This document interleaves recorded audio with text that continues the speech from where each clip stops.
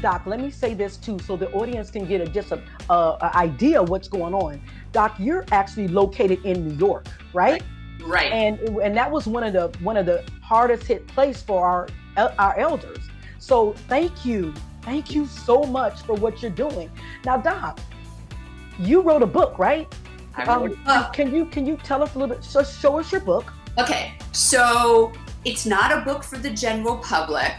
Um, I could write a book on uh, dirty old man stories and how uh, uh, all the things that happen to me when I work on dementia patients. That could be another whole book. But this book is meant for people who are either very young in their career and want to have their own practice from the minute they graduate from dental school.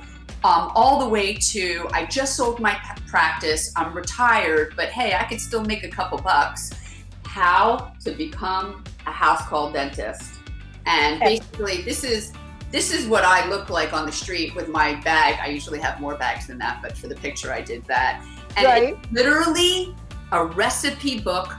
Every product I use, how much it costs, every procedure that I do or don't do, what not to do, what to do, what everything but what to charge because every area has their own charges. And I'm excited to say, Sonia, that we can have hygienists go out in the community. All I have to do is go examine them and say, you need to have a prophy and, or, you know, scaling, whatever it is to clean your teeth. And I, um, I hired a hygienist and then COVID hit.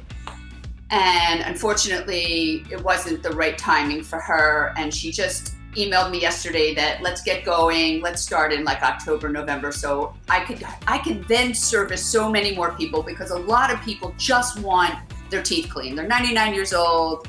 All right, they have something happening in their mouth, but they're leaving it alone. But at least now I can serve more people. So that's exciting.